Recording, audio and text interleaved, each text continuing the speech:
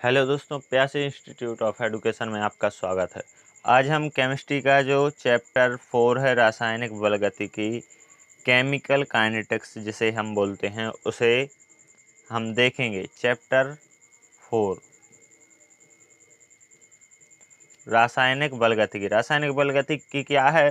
भौतिक रसायन, chemical, chemist, जो फ़िज़िकल केमिस्ट्री है इसकी वह शाखा जिसके अंतर्गत रासायनिक अभिक्रियाओं की दर और अभिक्रियाओं की क्रियाविधि का अध्ययन किया जाता है, अभिक्रियाओं की दर और उस, उनकी क्रियाविधि का अध्ययन जिसमें किया जाता है, उसे हम भौतिक रसायन उसे हम रासायनिक बलगतिकी कहते हैं। अब रासायनिक बलगति की मैं बेग के आधार पर रासायन, रासायनिक अभिक्रियाओं को तीन प्रकार में बांटा गया है, जो पहली हैं तीव्र अभिक्रिया या तात्क्षणिक अभिक्रिया। तो तात्क्षणिक अभिक्रिया क्या होती हैं? वे अभिक्रिया जो अत्यंत तीव्र वेग से संपन्न होती हैं। तीव्र अभिक्रिया जो अभिक्रिया बहुत ही कम समय लेती है संपन्न होने में, उन्हें हम तीव्रगामी अभिक्रिया कहते हैं। जैसे एग्ज़ाम्पल हम देखते हैं तो एग्ज़ाम्पल है A G N O three plus N A C L equal to N A N O three plus A G C L A G जो है, इसका N A N O three sodium है A N O three के साथ क्रिया करेगा तो N A N O three बना लेगा, और इसकी क्लोरीन के साथ क्रिया होगी तो ए जी सी एल बना लेगा। ऐसे ही है B A C L two plus S two S O four क्या होगा? बी एस ओ फोर हो जाएगा और S two S C L हो जाएगा। तो ये दोनों अभिक्रियाएँ क्या हैं? तीव्रगामी अभिक्रियाएँ हैं। अब मंदगामी अभिक्रिया जो सेकंड है, वो है मंद अभिक्रिया। तो वे अभिक्रियाँ जो अत्यंत तो मंद वेग से संपन्न होगी, मंदगामी अभिक्रिया कहते हैं, जैसे हम क्या देख सकते हैं, लोहे पर जंग लगना। लोहे पर जंग लगती है, उसमें जो लोहे का क्षरण होता है, वो बहुत समय लेता है, समय लगता है उसमें। यानी कि वो मंद मंद अभिक्रिया है, मंदगामी अभिक्रिया है। या फिर पेट्रोल का बनना, पेट्रोल जो बनते हैं, कई हज़ारों सालों में बनते हैं तो पेट्रोल का बनना ये भी मंदगामी अभिक्रिया है। जंग का जो सूत्र है, ए है F E equal to F E two O three X S two O. इसका सूत्र है।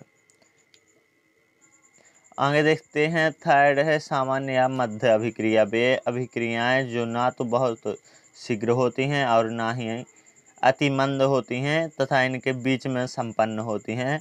मध्यम या सामान्य अभिक्रियाएँ कहलाती हैं। ऐसी अभिक्रियाएँ जो ना तो अधिक समय लेती हैं और ना ही कम समय लेती हैं। मध्य में रहती हैं मतलब कि सामान्य समय लेती हैं वे अभिक्रियाएँ क्या होती हैं, मन सामान्य या मध्य अभिक्रिया कहलाती हैं। जैसे C H three C O O C two H five plus H two O equal to H plus की उपस्थिति में C H three C O O H C two H five O H होता है कि इसमें ethyl acetate की जब जल से क्रिया करवाई जाती है तो एसिटिक अम्ल बनता है और एथिल एल्कोहल बनता है। Ethyl alcohol C two H five O H बनता है। सेकंड इसका एग्जांपल है सुक्रोज की। सुक्रोज की अभिक्रिया होती है जल के साथ तो यह फ्रक्टोज और ग्लूकोज में टूट जाता है। तो ये अभिक्रिया भी मध्य अभिक्रिया है, यानी कि सामान्य अभिक्रिया है। आगे देखते हैं अभिक्रिया की दर। अभिक्रिया इकाई समय इकाई समयांतराल में अभिकारकों या उत्पाद की सांद्रता में होने वाले परिवर्तन को अभिक्रिया की दर या वेग कहते हैं। इकाई समय समयांतराल में, यानी कि किसी निश्चित समय में इकाई समयांतराल में अभिकारकों अभिकारकों या उत्पाद की सांद्रता में जो परिवर्तन होता है उसे हम अभिक्रिया की दर या वेग कहते हैं। इसका जो मात्रक होता है, अभी इसका मात्रक होता है मूल लीटर इनवर्स, सेकेंड इनवर्स का मात्रक होता है मूल लीटर इनवर्स, सेकंड इनवर्स मात्रक होता है इसका। अभिक्रिया की दर इक्वल टू क्या होगा? बराबर अभिक्रिया या उत्पाद की सांद्रता में परिवर्तन बटे में आ जाएगा समयांतराल, या फिर इसी को हम लिख सकते हैं प्लस माइनस डी एक्स अभिक्रिया या उत्पाद की सांद्रता में परिवर्तन को डी एक्स से प्रदर्शित करेंगे और समय अंतराल डी टी हो जाएगा। अल्प समय के लिए डी टी और अल्प सांद्रण या में परिवर्तन के लिए डी एक्स हो जाएगा। आगे हम नोट देख लेते हैं।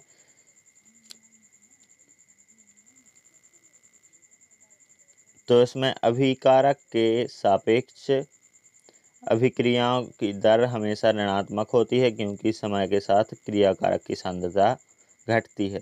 क्या होता है कि अभिक्रिया की दर क्या होगी? ऋणात्मक होगी क्योंकि क्रिया का समय के साथ एज समय और सांद्रता का ग्राफ है। इसके साथ अभी जो क्रिया कारकों की सांद्रता है वो घटती है और उत्पाद की जो होती है वो बढ़ती है। तो इसमें माइनस में आएगा, अभिक्रिया की दर माइनस हो जाएगी, तब minus D A upon D T हो जाएगा। और उत्पाद के सापेक्ष अभिक्रिया की दर धनात्मक होती है, क्योंकि समय के साथ उत्पाद की सांद्रता में वृद्धि होती है। यदि इसे हम ऐसा भी समझ सकते हैं, यदि A plus B equal to C plus D, A B दो क्या हैं? अभिकारक हैं और ये उत्पाद हैं। तो जो अभिकारक हैं इनके द्वारा उत्पाद बन रहा है तो समय जैसे जैसे बढ़ेगा तो जो अभिकारक हैं, इनकी सांद्रता में कमी आएगी, क्योंकि ये बन के उत्पाद में परिवर्तित होंगे तो इनकी सांद्रता में कमी आएगी, और चूँकि किसमें उत्पाद की सांद्रता में वृद्धि होगी, ऐसा हम इसे समझ सकते हैं। आगे देखते हैं, अभिक्रिया के औसत वेग या ताक्षणिक वेग। तो अभिक्रिया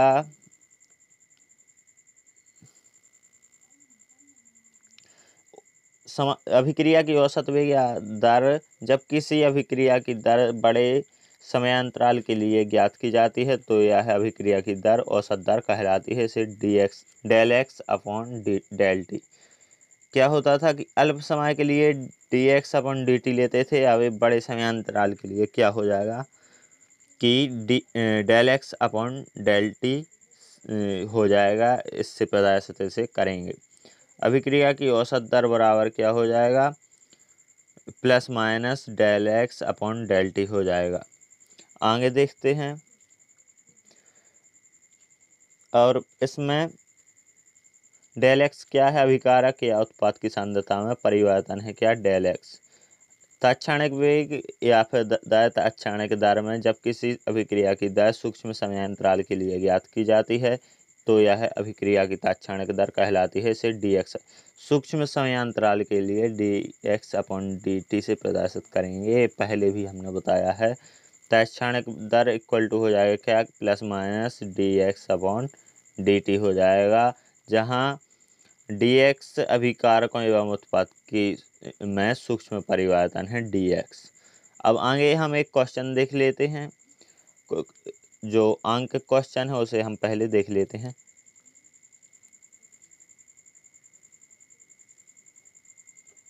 एक रासायनिक अभिक्रिया जो है two A equal to four B plus C गैसीय प्रवस्था में बंद पात्र में होती है। ए क्या है? अभिकारक और उत्पाद बंद पात्र में होती है। बी के सांद्रण को 10 सेकंड में पाँच, यानी कि five into ten to the power three mole litre inverse बढ़ा दिया गया, तब बी के प्राप्त होने की दर और ए के लुप्त होने की दर को याद कीजिए। इसमें दिया गया क्या है? पहले तो हमें ये देखना है तो इसमें बी की सांद्रता दी गई है। बी के सांद्रण को तो बी की सांद्रता क्या दी गई है? Five into ten to the power three, mole litre inverse A B की सांद्रता दी गई है। और इसका समय भी दिया गया है कितना? Ten second. टेन सेकंड इस समय दिया गया है। अब तो हम इससे बी के बनने की दर ज्ञात कर सकते हैं। तो बी के बनने की दर इसमें क्या हो जाएगी? बी के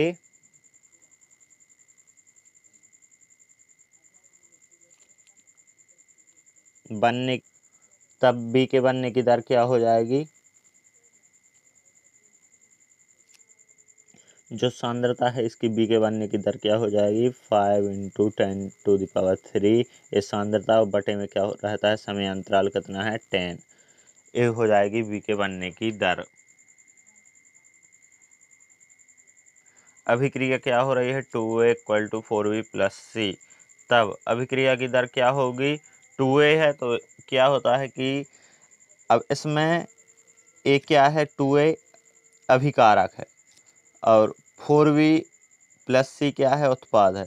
तो अभिकारक हमेशा क्या रहेगा माइनस में? क्योंकि ये कम होता है तो minus one upon two D upon D T हो जाएगा। और फोर बी ए दोनों उत्पाद हैं, फोर बी और सी तो ये प्लस में रहेंगे। One one upon four D D B upon D T हो जाएगा और उसमें D C upon D T हो जाएगा। ए अभिक्रियाएँ की दर हो जाएँगी। अब एक लुप्त होने की दर हमें ज्ञात करनी है तो एक लुप्त होने की दर क्या है? Minus one upon two D A upon D T या इसी को, के बराबर क्या होगा? इक्वल टू में क्या होगा? One by four D V upon D T क्योंकि ए क्या हो रहा है? ए उत्पाद बन रहा है और ए है अभिकारक। अब ए टू ऊपर चले जाएँगे तो टू अपॉन फोर हो जाएगा, यानी वन बाई फोर हो जाएगा। चूँकि D V upon D T हमें दिया गया है बी की सांद्रता हमने अभी निकाली। बी की सांद्रता जो है हमने अभी निकाली है। तो बी की सांद्रता निकाली कितनी? Five into ten to the power minus four. ये हमने बी की सांद्रता देखी है। क्योंकि कैसे आई five into one upon four हम बताते हैं फिर से।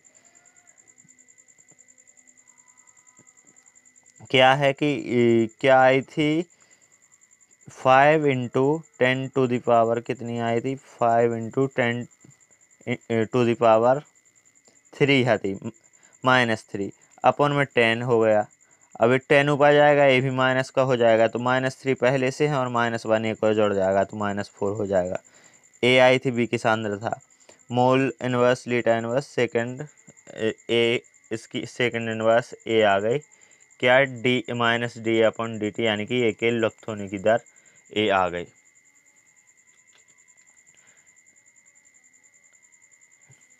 ए के लुप्त होने की दर क्या हो गई?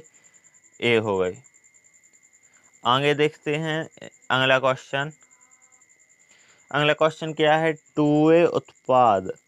अभिक्रिया में एक ही सांद्रता टेन मिनट में, यानी कि दस मिनट में zero point five mole litre inverse से घटकर zero point four mole litre inverse रह जाती है।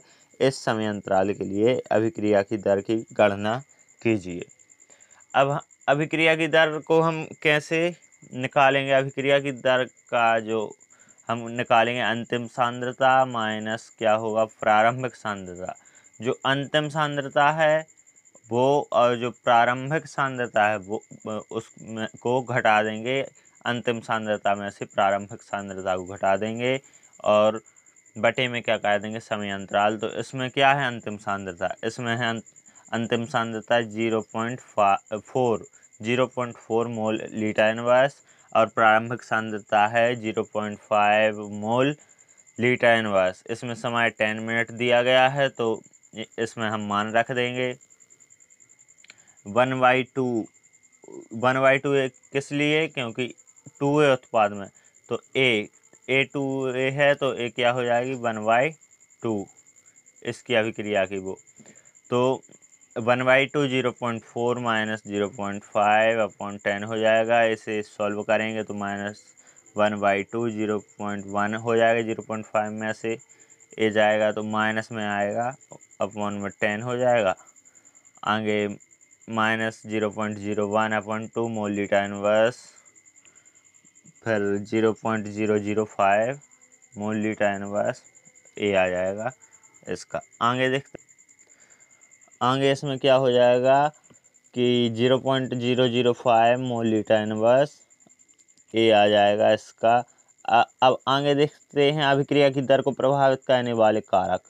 अभिक्रिया की दर को प्रभावित करने वाले कारक कि कौन कौन से कारक हैं जो अभिक्रिया की दर को प्रभावित करते हैं?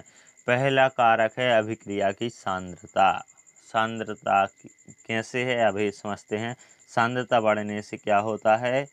सांद्रता बढ़ने से अभिक्रिया की दर बढ़, बढ़ती है क्योंकि अभिक्रिया में भाग लेने वाले अणुओं की संख्या में वृद्धि होती है। सांद्रता बढ़ेगी तो जो अभिक्रिया में अणु हैं, उनकी संख्या में वृद्धि होगी। तो अणु की संख्या में वृद्धि होगी तो जितने ज़्यादा अणु होंगे, उतने ज़्यादा वो रिएक्शन करेंगे, यानी कि अभिक्रिया करेंगे। तो इससे अभिक्रिया की दर में वृद्धि होती है। और द्रव्यानुपात क्रिया के नियमानुसार अभिक्रिया की दर अभिकार अभिकारकों के सक्रिय सांद्रता के गुणनफल के समान, अब ये तो हमने समझ लिया। अब लिखित में क्या है कि द्रव्यानुपाती क्रिया के जो नियम है। वो भी यही कहता है कि अभिक्रिया की जो दर है, अभिकारकों के सक्रिय सांद्रता के गुणनफल के समानुपाती होती है। सेकंड कारक है ताप। ताप का प्रभाव कैसे पड़ता है? ताप बढ़ने से क्या होता है? अभिक्रिया की दर बढ़ती है। क्यों बढ़ती है? ताप बढ़ने से अभिक्रिया की दर। यदि किसी रासायनिक अभिक्रिया का ताप 10 डिग्री सेल्सियस बढ़ा दिया जाता है तो अभिक्रिया की दर दोगुनी हो जाती है। अब इसे हम पहले समझते हैं कि क्यों बढ़ती है। ताप बढ़ते हैं तो ताप बढ़ने पर सांद्रता क्या होती है? बढ़ती है। क्यों? ताप बढ़ेगा। यदि कोई जल है तो जो गर्म जल होता है गर्म गर्म जो होता है जल, गर्म जल होता है जो उसकी सांद्रता अधिक होती है ठंडे जल से। तो सांद्रता बढ़ेगी तो हमने पहले ही देखा है कि अभिक्रिया की दर बढ़ेगी। तो ताप बढ़ने पर भी अभिक्रिया की दर बढ़ती है और एक और इसमें फैक्ट की बात यह है कि किसी रासायनिक अभिक्रिया का ताप है जो टेन डिग्री सेल्सियस बढ़ा दिया जाता है तो अभिक्रिया की दर दोगुनी बढ़ जाती है। ये फैक्ट है। आगे देखते हैं। थर्ड जो था, अभिकारकों के पृष्ठ पृष्ठीय क्षेत्रफल। अब अभिकारकों का पृष्ठीय क्षेत्रफल जितना अधिक होगा यदि दो ए अभिकारक हैं ए इनका ए जो पृष्ठीय क्षेत्रफल है ये जितना अधिक होगा दोनों में अभिक्रिया उतनी ही जल्दी बढ़ेगी तो होगी तो अभिक्रियाओं का पृष्ठीय क्षेत्रफल जो होता है वो भी अभि ए, अभिक्रिया की दर को बढ़ा बढ़ाता है मतलब कि निर्भ निर्भर कहता है समानुपातिक निर्भर कहता है। फोर्थ क्या है उत्प्रेरक का प्रभाव प्रभाव? उत्प्रेरक का प्रभाव कैसे पड़ता है? ये देख लेते हैं पहले कि उत्प्रेरक का प्रभाव कैसे पड़ता है। इसके आगे अब हम अगली वीडियो में देखेंगे। नेक्स्ट वीडियो में चैनल को सब्सक्राइब करें, क्योंकि ऐसी